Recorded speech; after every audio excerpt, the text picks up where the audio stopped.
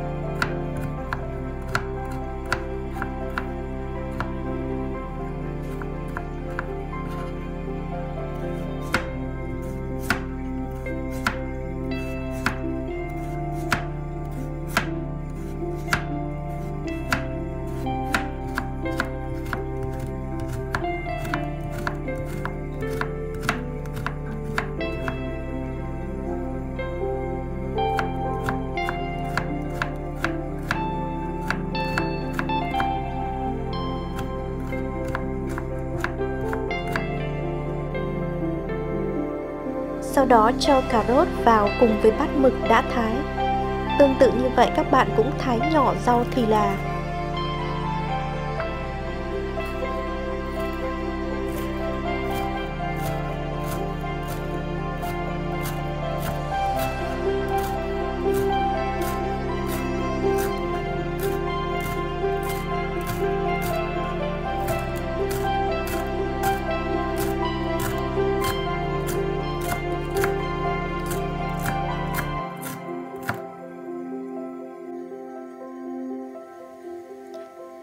Cho thì là vào cùng tô với mực và cà rốt. Tôm các bạn cũng thái nhỏ, nhưng cũng không cần nhỏ lắm đâu ạ. Thái nhỏ vừa vừa, để khi mình ăn, mình cắn phải miếng tôm hay là miếng mực sẽ có cái vị ngọt và thơm khác nhau. Đây là cách đổi vị trong một món ăn đấy các bạn ạ.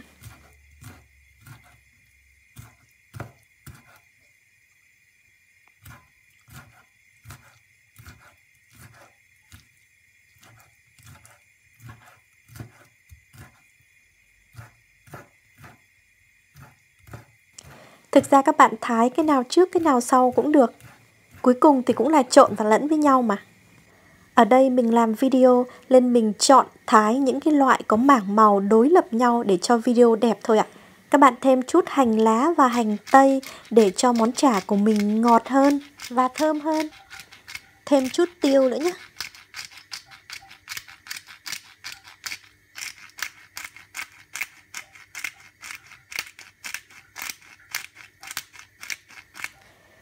Sau đó các bạn trộn đều. Trộn cho các thành phần và gia vị ngấm đều vào nhau.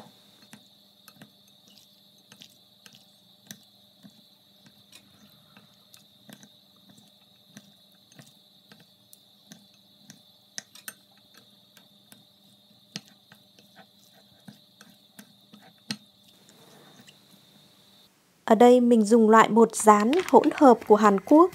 Các bạn có thể sử dụng loại bột rán nào bán trên thị trường cũng được. Có thể là bột bánh xèo cũng rất ngon các bạn ạ.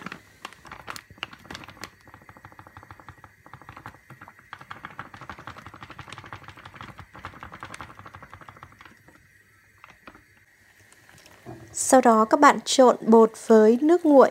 Nhớ là dùng nước nguội nhé, vì nước nóng sẽ làm cho bột bón cục lại đấy.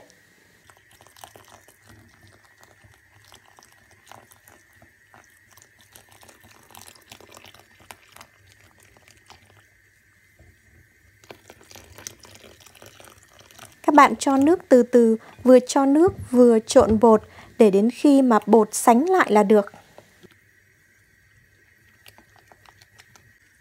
Bột của mình đã sánh rồi và bây giờ mình có thể đổ nhân vào.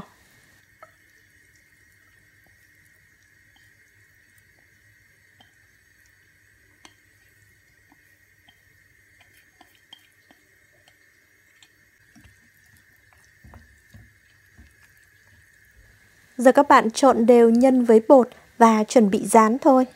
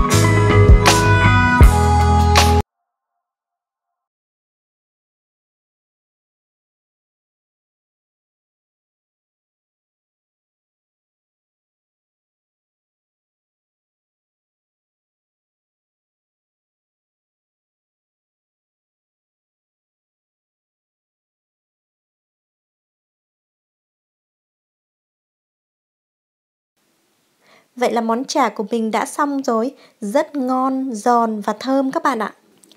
Cảm ơn các bạn đã theo dõi video của mình. Đừng quên nhấn nút đăng ký để ủng hộ mình nhé. Xin chào và hẹn gặp lại. Bye bye!